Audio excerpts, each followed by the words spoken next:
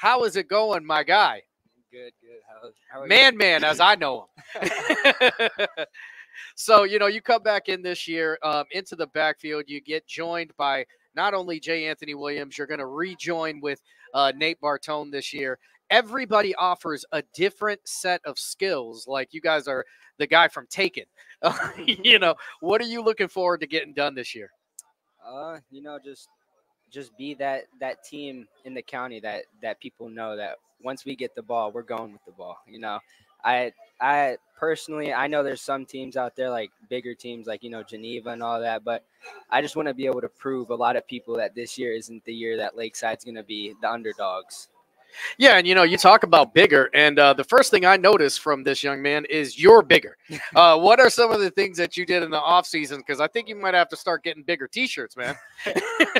uh, definitely, uh, we definitely work out. We take lifting this year a lot more serious, and not even with the team, like eating better. You know, getting my protein in because last year I understood getting hit. You know, my knee off of that too you know, it's just the little things that I didn't want happening again. Like I know I don't want any of my teammates to go through what I had to go through last year. So that's why when we're in the weight room, the weight room, like our freshmen and all that, I just want to make sure that they're all lifting right, so they don't got to go through what any of us injured players went through last year. Well, you know, and another thing that happens, uh, uh particularly out here, is is the more talented you are, the more likely you are going to get what I like to call baptism by fire.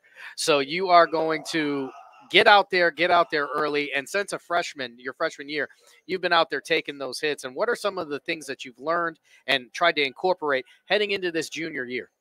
Uh, I like don't be scared. Like this, everybody's human. You know, if if you're an athlete, I know I understand there's athletes on the field, but you know, I don't, I don't nor I know you're an athlete, but you know, I don't really care who you are. I'm still gonna I'm still gonna do what I gotta do so you know you come into this year as a junior and you've got the seniors but uh, the same question i asked jay anthony um, you know this is a year of transition where you start to be more of a leader and, and you've got to start taking accountability for some of these younger guys what are some of the things you wanted to make sure you got established and are getting ready to take on that leadership role um definitely like more paying attention more discipline than like the previous years because not saying just them, but like understanding our class from last year. Like we didn't take everything as serious as we should have.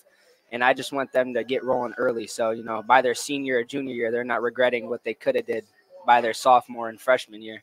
Like I think Jay, Jay said, uh, we got this guy Day Day on our team. Like I know he's gonna be a dog for sure.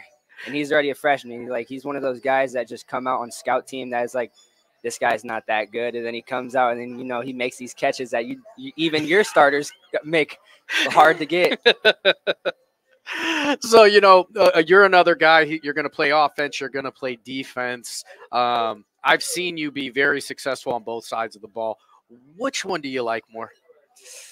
Um, I like to hit, but I like I like running with the ball and hitting more than you know getting there and, and hitting. But if I had to pick, I'd probably say offense. Offense, beautiful, beautiful. So, what can we look forward to in this? I'm going to start calling Lakeside. You know, you guys are dragons. but I'm going to start calling you guys the Hydra because you guys got three heads back there in that backfield. What can we look forward to when Devan Miller is on the field?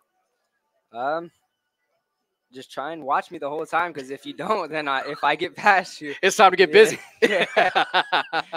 yeah, this is another name that you guys better get ready to hear and get ready to hear often. He's a phenomenal athlete, a phenomenal student, and one of the kids I think that's going to make a huge difference for this program this year. Ladies and gentlemen, Devan Man Man Miller.